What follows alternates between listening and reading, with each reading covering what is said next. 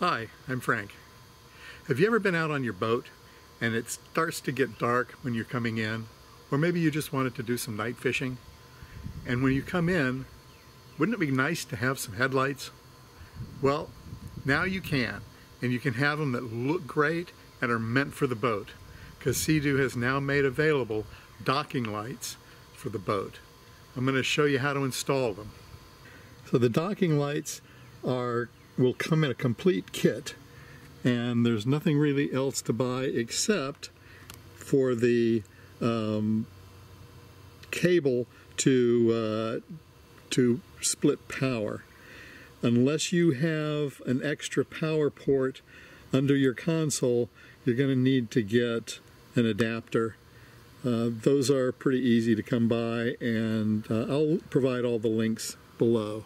So there you can see the part numbers um, and yes, it is $300, but uh, I think it's going to be a nice addition. Now, instructions are not included in this box, so you're going to need to go online and download the instructions. When you go to the instructions, look at the very, very bottom when you're online, and it'll say template.pdf. And you're going to need to print that because the lights are going to go right here. Here's one, and the same thing on the other side. So that's where we're going to mount them and there's a template for that that, um, that you're going to need. To install the dock lighting towards the bow of the boat we need to remove these corner pieces, these two floor pieces, those floor pieces all the way up to the center console, and where I have that cover panel removed that needs to be removed so we'll have a, a uh, straight opening underneath that starboard side of the boat and along the forward side of the boat to take these floor panels up and each of the corners is a little tab that you're going to remove and then there's a 10 millimeter screw that you're going to unscrew. To make faster work out of this, I recommend that you get a cordless drill. I'm using a uh, Milwaukee, um, just a regular Milwaukee screwdriver, because basically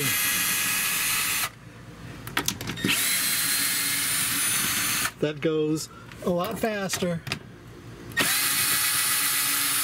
than doing it by hand. Make your life easy, don't lose your screws. I'm using a pool strainer, but a box will do. Uh, all of the screws are going in there. So now when it comes time to put things back together again, I don't have to go looking all over the place.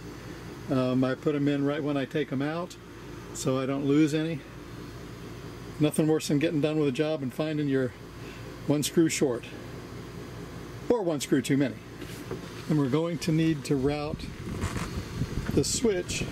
The instructions call for putting it here so I'll need to take this screw off and lift this panel up so that I can route stuff down in there. Now that this piece is out, I can reach up underneath here and lift this up. Now, the cover pieces on here, you can see these little tabs. You can just reach up underneath here with your finger push the tab in and push one side out, then up around and push the other side out. And that'll give you access to that panel. If you want to put it over on this one, you probably can. Uh, I'm not doing that mostly, mainly because the instructions tell me to put it here, and I generally like to follow instructions. I may like this side a little bit better, but I'm going to go with what the instructions say. I started by routing the cable through here. And then I went to the larger opening on the side here. It's not very far, you can reach up and grab it. And then I'm going to be bringing, bringing the cable along here. I'll be tie wrapping it, but I'm not going to tighten the tie wraps until I get everything done. I don't want to tighten things down and be too short or something like that. You can see they provide plenty of cable so you're not going to run short. This is a 21 foot switch. So if you have a, a shorter one, then you're not going to run into any difficulties at all. In the uh, forward starboard side is where I wrapped the excess cabling. There's one of the connectors. Ran it under here. I tie wrapped it to the um, nav light um, cable that's running. So I try to follow that under there and then over to this side.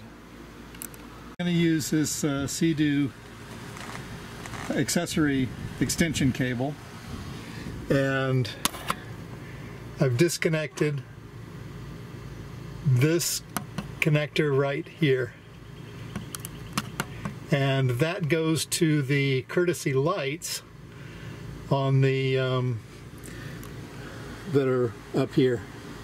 I connected one end of the cable there into that connector and then the uh, other one will go to this.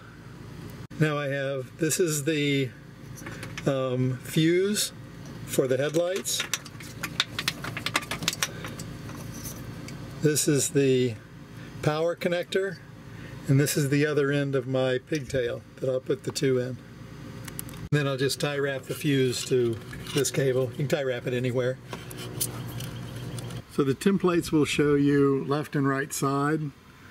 You'll go ahead and cut that out and uh, tape it to the boat where you're going to be uh, installing it. You can double check your uh, measurements if you need to.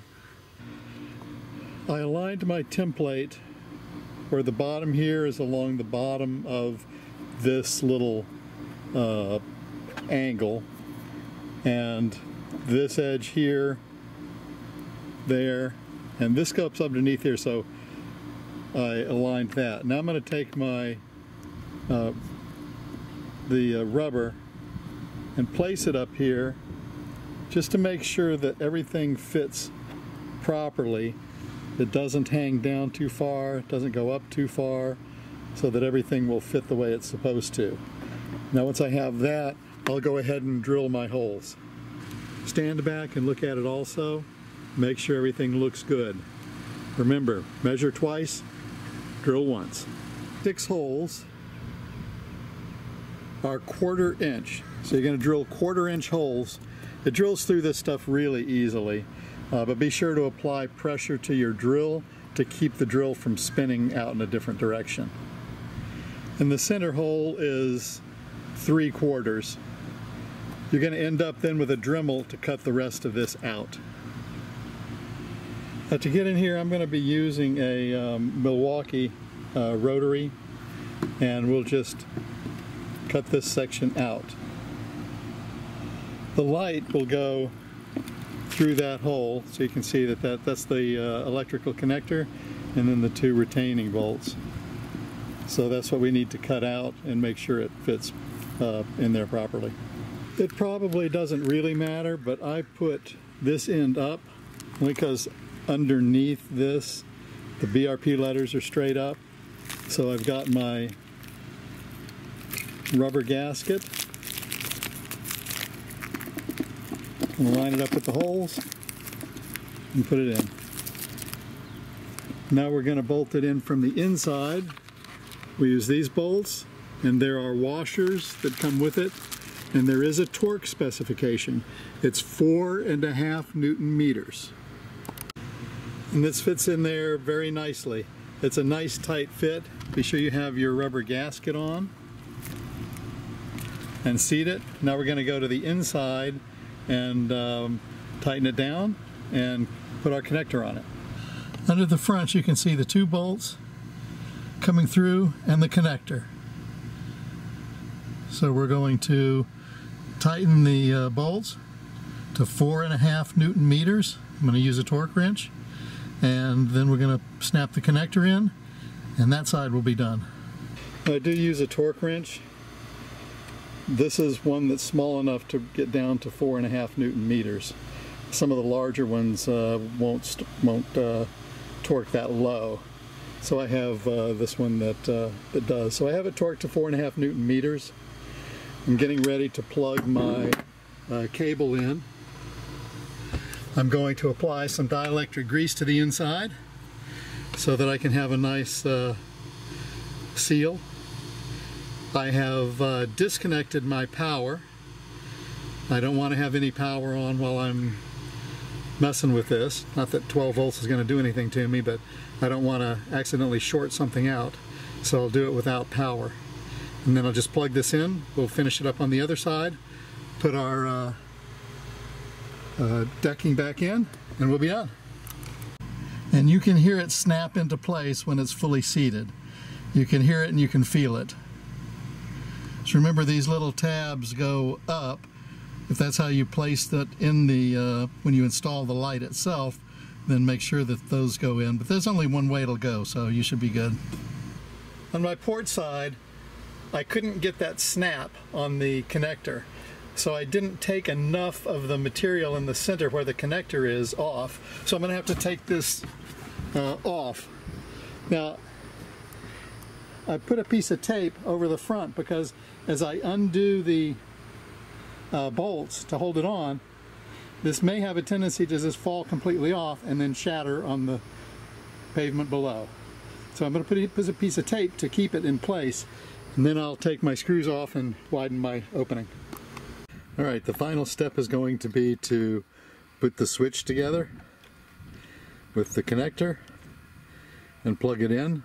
I'm going to apply some dielectric grease and then uh, plug this in. You have the two pieces um, connected and it's nice and flush. The next thing you want to do is insert this and pay attention to which way it goes. This is incorrect. This is correct. So you have low beam and then regular beam. This isn't, if you turn it around this way, it looks like it's a high beam, but it's not. That's the low beam. So insert it this direction till it snaps into place. You can check it under there, make sure it's all nice and flush. And your installation's complete. Let's check it out. There we have the finished installation. It looks pretty cool. It was made for it, so it's good that it looks like it was made for it. And uh, now we just need nighttime to see how bright they are. All right, there are my lights. It's dusk, so it's still just a little bit hard to see how bright they're actually going to be at night, but they look pretty good to me.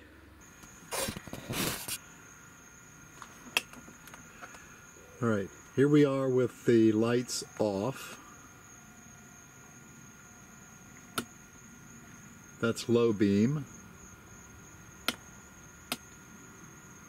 High beam. I should be able to see pretty well pulling into the dock at night. Uh, all in all, I think the uh, lights do an adequate job, and I'm uh, pretty happy that I installed them.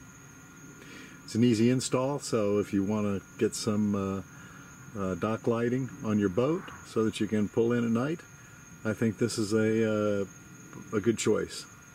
See you on the water.